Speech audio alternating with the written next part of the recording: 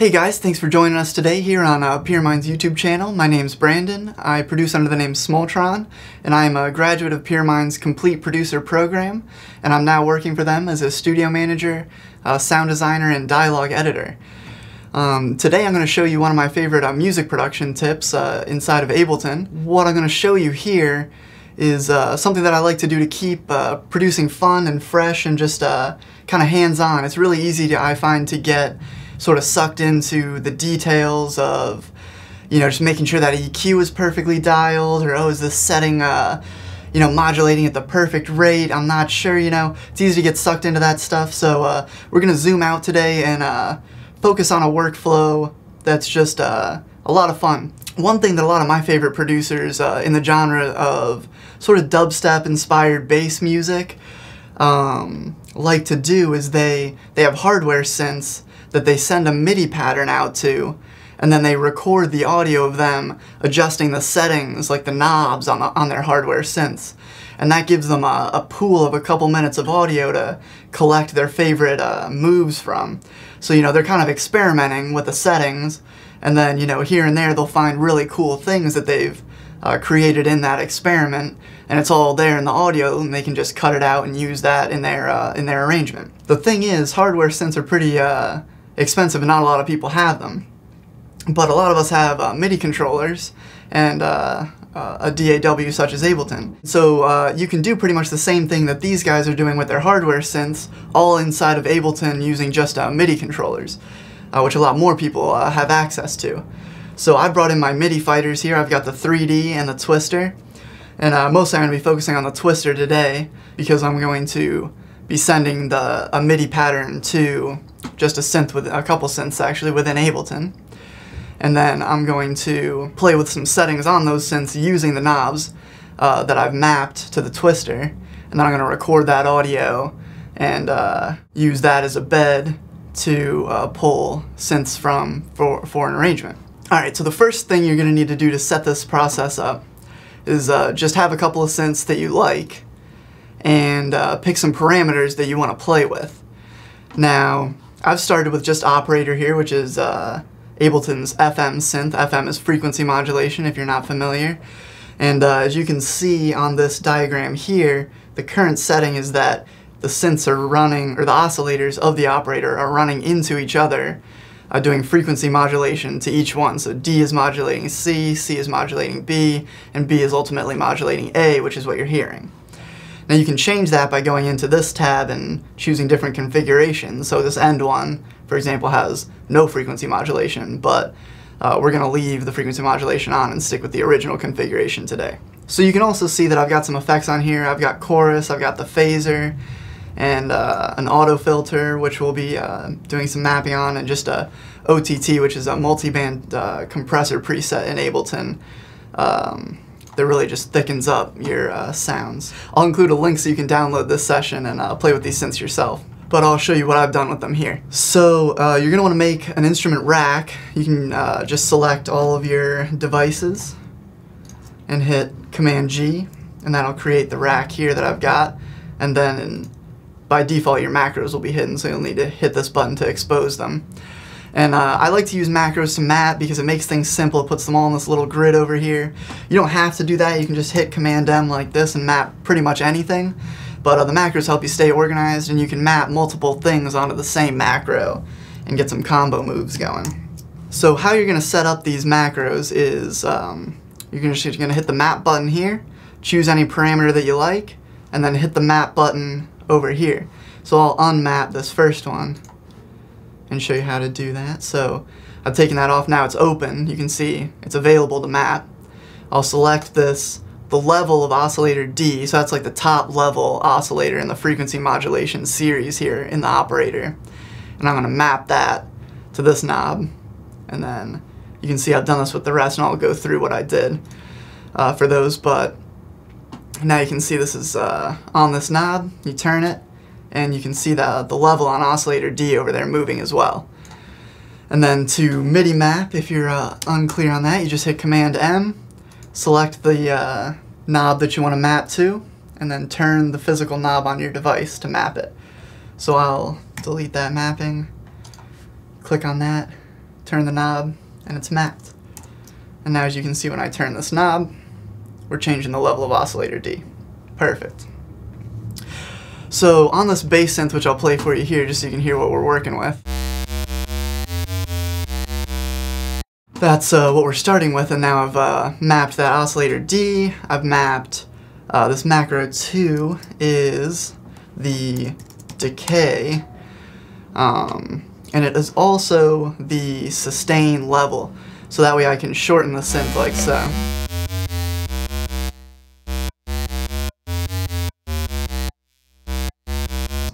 So by bringing the sustain down and the decay down, you're shortening the amp envelope of the synth to create a, a shorter, more gated feel.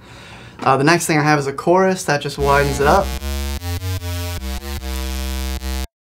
Then we've got uh, the filter. Definitely one to map is the filter frequency there. Um, I've got the one in operator mapped there. And then I've got the, uh, the coarse knob on this lowest level oscillator on, on the operator, which is the one that you're hearing, and that's uh, just the pitch of that particular oscillator. And since that's the one that you're hearing, that's the one that's going to have the, the strongest effect. If you were to map the coarse knob of B, C, or D, you'll hear something, but it'll be less pronounced than this. So you can see that's a big effect. Then the last three here are all mapped to settings on the auto filter over here. So we've got rate, we've got amount, and uh, shape on the LFO. And uh, I've got the frequency set at a specific point in here around uh, 1 to 2 kilohertz here. And uh, that just lets, when I turn up this LFO, that was a, a nice spot for uh, to get some, some filter wobbling here, as you can see. So I've got, that's the amount. We can change the rate. And then the shape also. So now what you're going to want to do is duplicate out your uh, drums so you can stay in time with your modulation and your synth as long as you want to uh, play with them. So I'm just going to go for about two minutes here. You can go for longer if you like, and that'll be the amount of audio that you'll have at the end of the process. So what I'm going to do next is create an audio track and rename it bass audio. And then I'm just going to route the audio from my bass uh, synth track into this audio track. Then I'm going to unsolo the bass track so we can hear the drums as we go through, but I'm going to turn off the art because we'll come back to him. Then I'm going to command click this record enable button so I can enable both the audio track and the MIDI track. And record.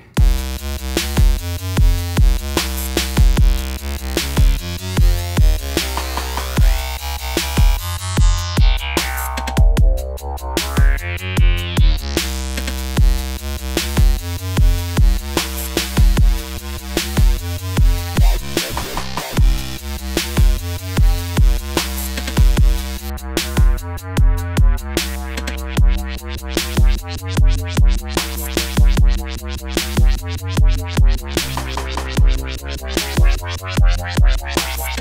advantage to doing things this way as opposed to going in and trying to create sounds like this individually is that you can just come up with all these variations so quickly. Um, and it's just fun. You get to, to, to play with your MIDI controllers and, uh, and get hands-on, and, and you get just such a wide range of things. And the reason that's helpful is in uh, a lot of these genres like dubstep, trap, just any sort of bass music really, you're looking for a high uh, variety of synth sounds. So if you're just stuck on the same synth sound your whole song, it's going to be stale, it's not going to be very exciting. So you need these variations, and you need a, a large number of them usually uh, to fill all of the, the little holes in your song to make it sound really complete and finished. So one thing you can do once you have this bed of, of audio here is go ahead and create a MIDI track and grab a, a simpler, throw it on there, or sampler if you, if you want the full suite of options, but to keep it simple, we'll use the simpler. And we'll look for a good cut here.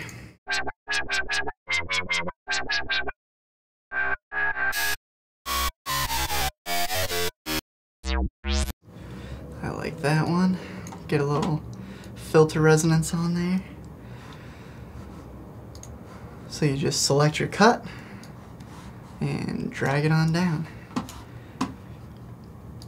Now once you're in the simpler, you basically got this sound as a new synth.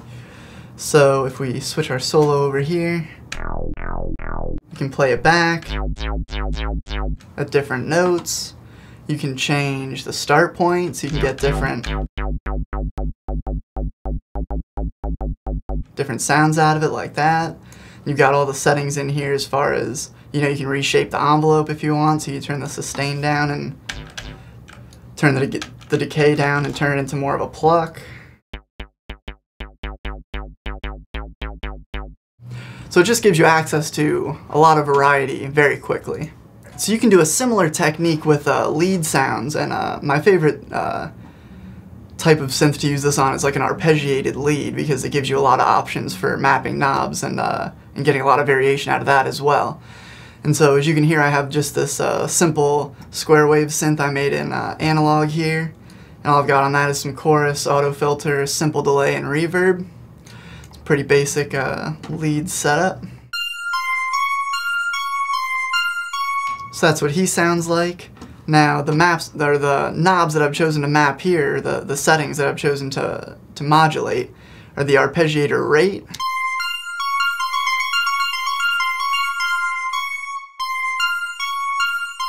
the gate, which is the length of uh, the note, the delay time and uh, dry wet are these two guys.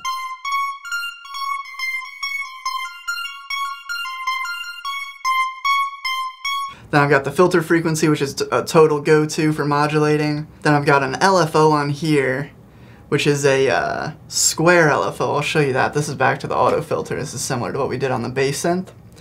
So on the auto filter, you can see I've got the mode set to square, and then I'm modulating the, I've mapped the amount, the rate, and the frequency this time, as opposed to the, the waveform.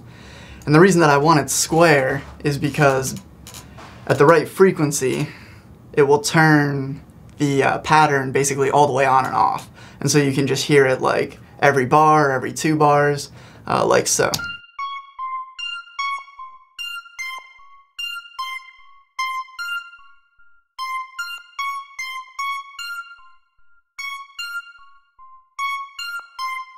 So you can hear it going back and forth, on and off. Where if this is turned down, you hear it all the time. And then the last thing I've got on here is the, the chorus. So basically we just do the same thing, create an audio track, say your input, this time to the ARP. Go ahead and unsolo that. Record enable, hit command to record enable both tracks at the same time. Gonna wanna turn the loop off, duplicate it out. Won't go quite as long this time. And then record again.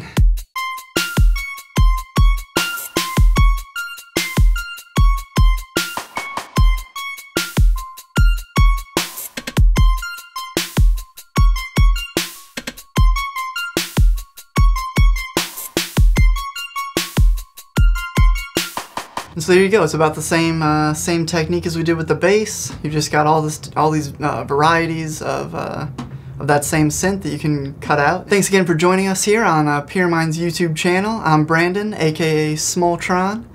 Uh, subscribe to our channel for more videos like this, and we hope to see you here again. If you're a music producer, subscribe to our channel and stay up to date on the latest PureMind tutorial videos, track breakdowns, elite sessions, and more. Visit us at pyramind.com.